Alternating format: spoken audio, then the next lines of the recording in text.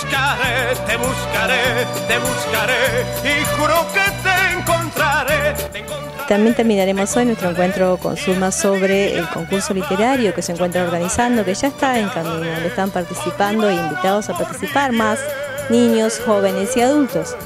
Ella nos cuenta también su vasta experiencia en el mundo literario, que ya lleva más de 99 premios ganados y otra cantidad de cuentos y poemas presentados en distintos concursos a nivel nacional y también fuera del país.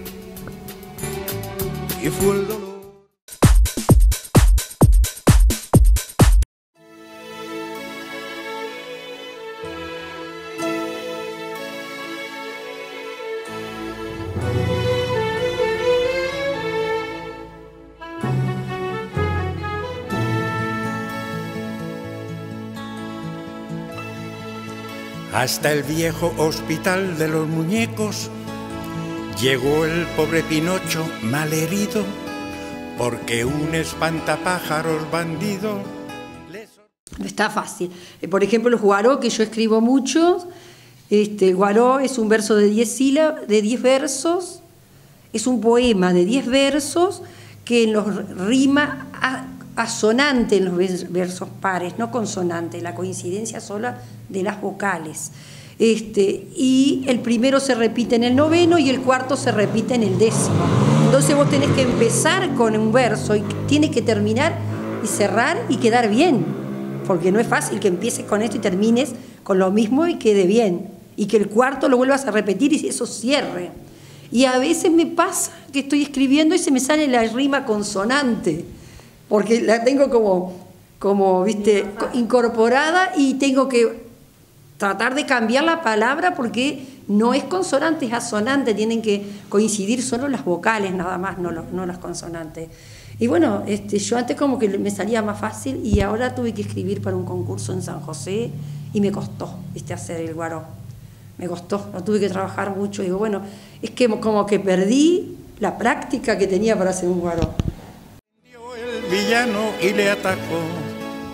Llegó con su nariz hecha pedazos, una pierna en tres partes astillada, una lesión interna y delicada que el médico de guardia le atendió. Y al doctor cirujano llamaron con urgencia, el cual con su experiencia pronto lo remendó. Pero dijo a los otros muñecos internos que me lo enseñaron a escribir el guarón, Nelson Guerra, viste, yo iba al taller de Nelson Guerra, que es un genio, él lo creó el guaró y recorrió el mundo, lo escribe todo el mundo.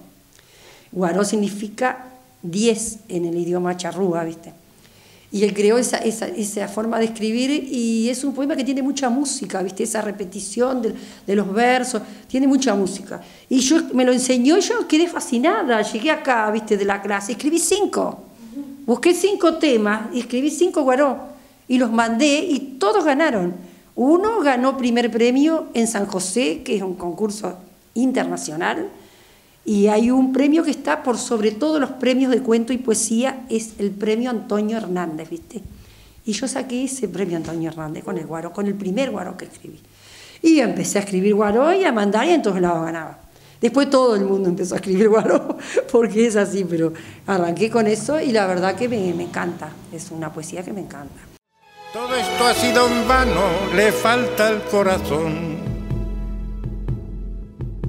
El caso es que Pinocho estaba grave y en sí de su desmayo no volvía y el doctor cirujano no sabía cómo ponerle a Pinocho un corazón. En eso llegó el hada protectora, y viendo que Y bueno, y los sonetos también, eh, me gusta la poesía con rima, eh, la cosa tradicional, con rima y con, y con métrica, me gusta. Y ahora este Zulma en este concurso nuevo, ¿hasta cuándo pueden presentarse los chicos sus trabajos y cuándo va a ser el, el, concurso? Bueno, este, la fecha está a cierre este, 10 de agosto, ¿no? Por ahí es, 10 de agosto. Siempre damos unos días más, ¿viste? Porque mientras van llegando las cosas de que es internacional también de afuera, en el buzón de acá de Bansai, que está en la confitería Bansai, yo lo dejo, ¿viste? Para el final, como que está, ¿viste? Unos días más, este, para que puedan escribir, no tienen que gastar ni siquiera en un sobre, ¿viste?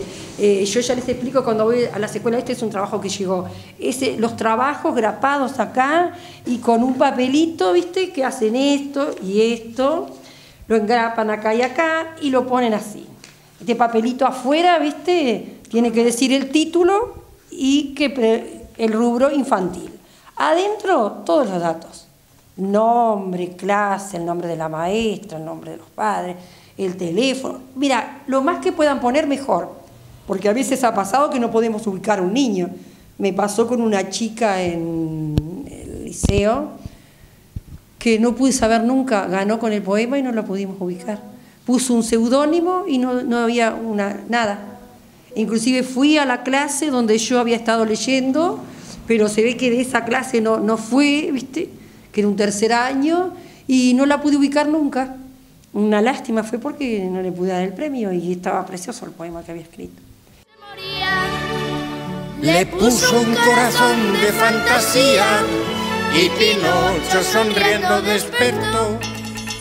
Pinocho, Pinocho, volviste a la vida con el corazón. Pinocho, Pinocho, volviste a la vida con el corazón. Entonces lo principal es eso, que pongan los datos. Que yo después me encargo de separar esto, poner para una caja y lo otro va para los jurados. Que no les pido ni siquiera que pongan un seudónimo, que un seudónimo. No importa porque los jurados no los conocen igual, porque pongan el nombre de ellos. No los conocen porque no son de acá los jurados. Entonces, igual va a ser como, como si fuese anónimo.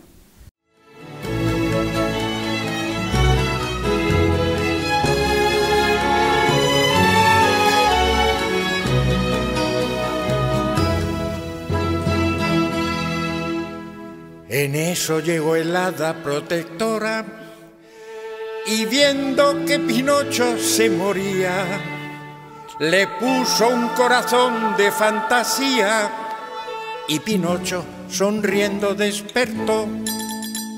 Pinocho. Compañero.